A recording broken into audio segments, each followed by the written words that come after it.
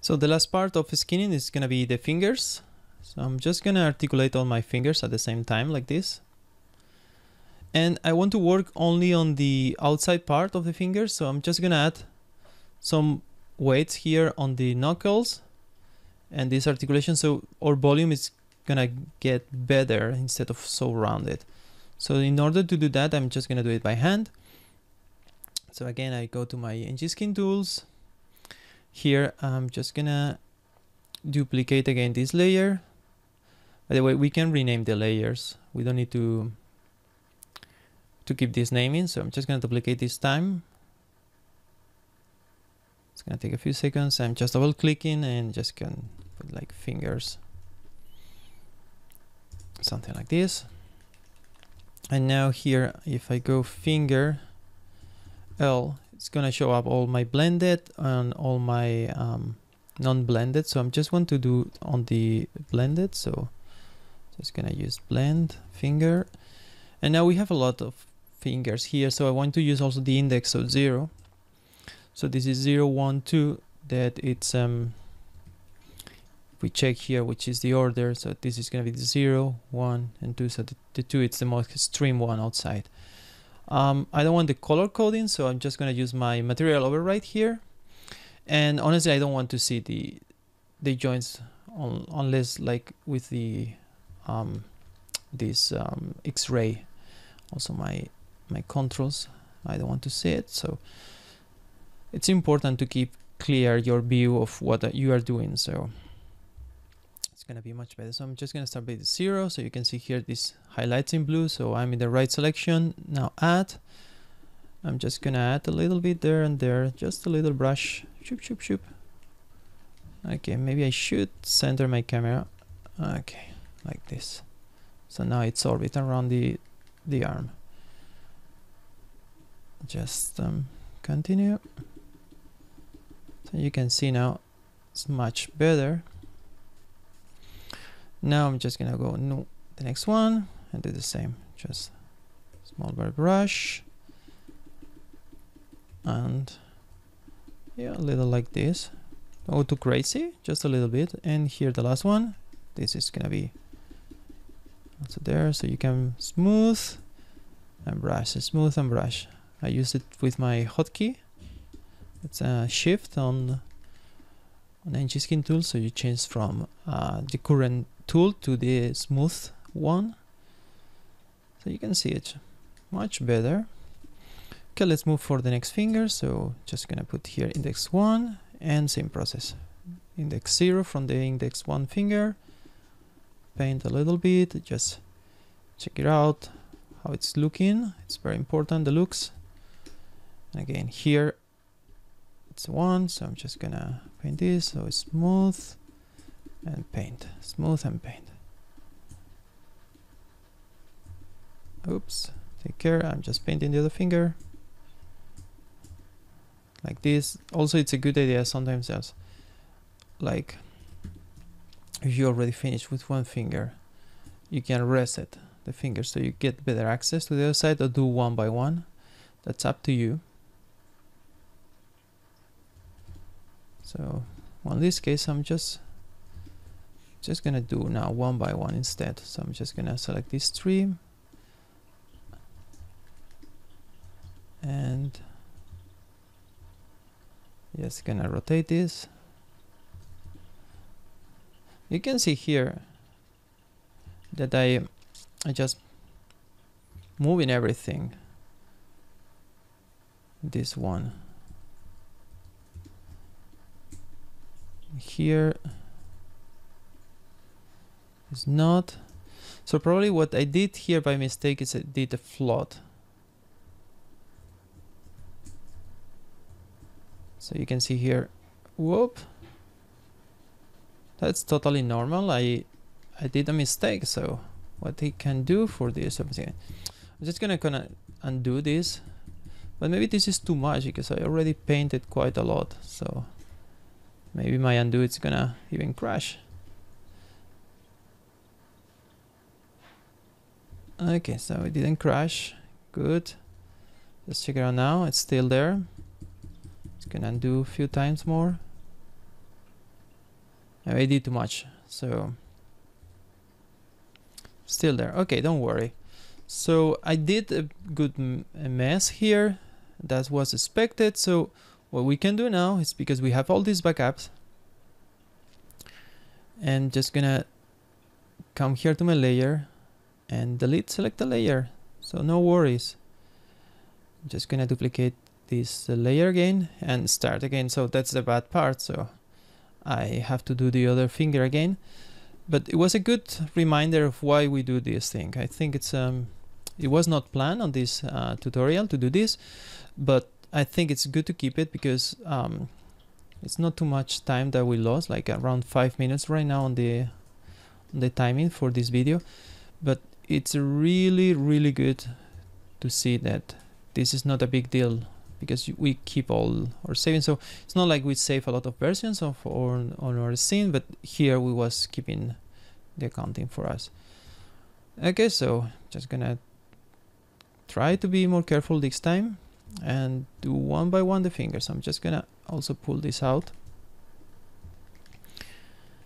And same thing so I'm just gonna go zero and restart my process. Don't do flood don't do it. I was about to do it. And probably I did it because while we see better the deformation with this override instead of this painting here it has a big disadvantage and it's that our visual cue that I'm very used to that I see where where I'm painting is not there anymore. So probably I try to activate it one more time this thing and that was probably my mistake. Maybe I need to rewatch this video to to find it. You will see it for, for sure. But again so here because now I'm processing one by one it's uh, also a bit clear what I'm doing. You see sometimes the best way to work is uh, try and error. So I did this process like thousands of times and still like making these silly errors from time to time. That's okay. Let's go with the flow.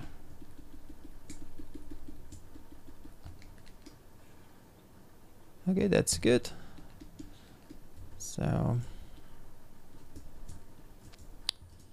I'm just gonna move for the next one. Maybe I should save the scene here. So we don't need to go back if I make another mistake.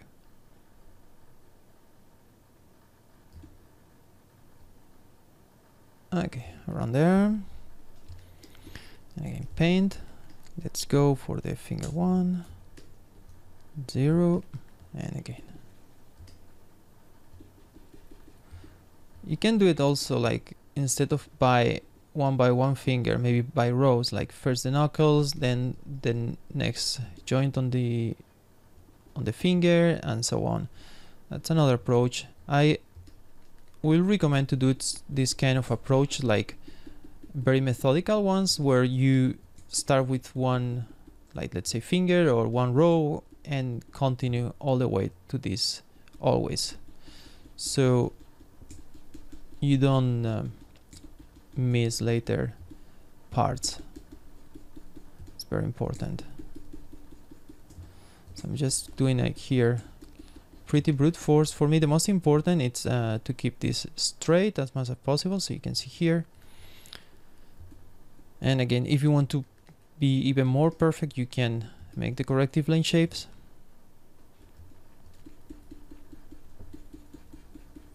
In this video tutorial we will add some corrective blendshapes also on the fingers so it's gonna be even better. For the moment we just want to focus on the base deformation to help us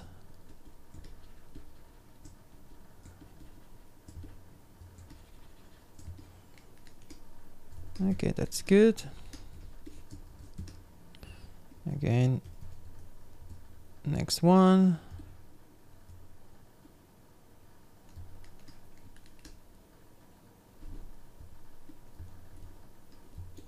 And from this point I'm just gonna speed up the video so you don't, you don't have to see me paint the rest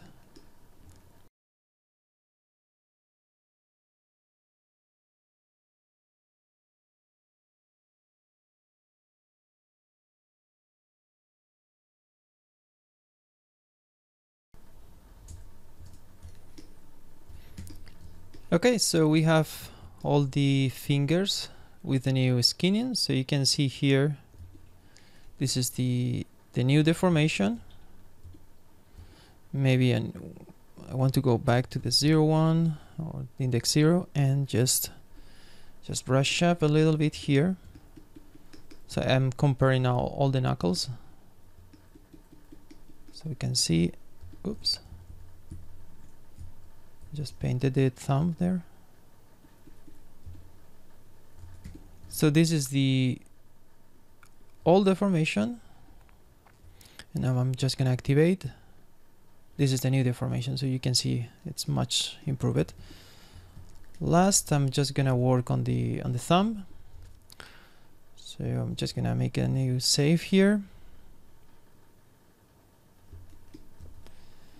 And for the thumb, I just want to work with all the fingers because I want to add also deformation here. So you can see here, this is not like very good right now. So I'm just want to go to my thumb zero. That is the one in the base. I'm just see here it's barely barely affecting this area. So I just want to add like this. Again, I'm just using a very visual approach, eyeballing you can go more numerical if you wish. That's uh, depending of the state I prefer to go like that or just go with the the guts and see how it's it's deforming. But again this is something very personal. So maybe it depends of the person or the workflow. You want to change it that I'm not saying is the best way to do it but at least it's the one that works for me Okay, so like that. And just smooth. Again, I'm just gonna put the override here.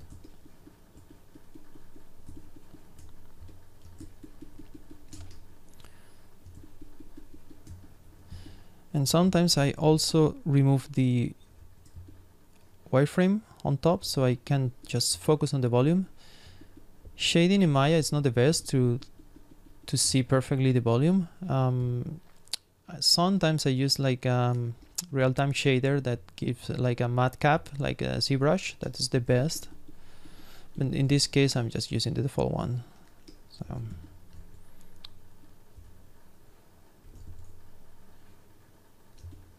Okay, so here the finger. So I'm just gonna again brush up this part.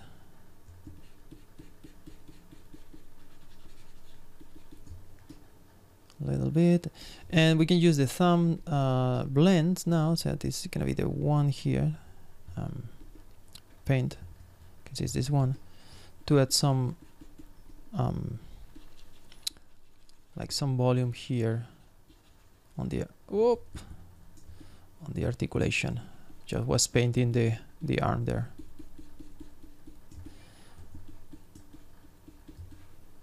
Like this, and now the this side. So I'm just gonna go and this is similar to what I did with the other fingers. Just brush up there.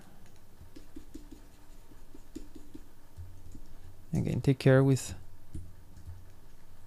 painting the other side I do this all the time. Just gonna put this in more convenient position.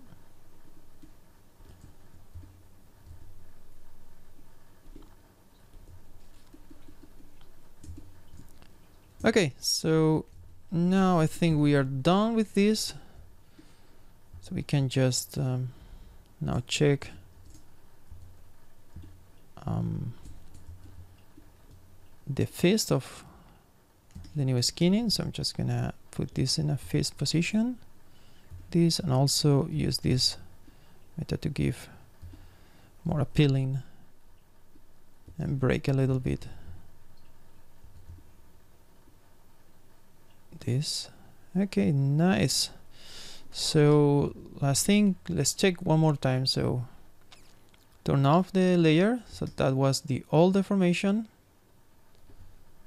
and on again and this is the new deformation Good. So we're done with the skinning. Just one click ahead. Just say here and mirror. Now, I just want to get rid of all these layers, but for this tutorial, because we want to keep it, well, we have it on the starting scene of this uh, this video, but also um, for keep it for future, we can export this. So I'm just gonna go here and under my, for instance, uh, here on the, um, just gonna create a new layer uh, folder, called it ng-skin, and I'm just gonna call it layers, very simple name. So we can store these layers. So later, if we want to re-edit again, we can just recover the layer. So now, it's gonna take a few seconds to save.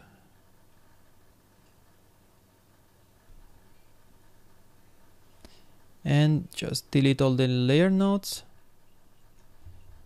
and save our scene. So we are done and clean with that.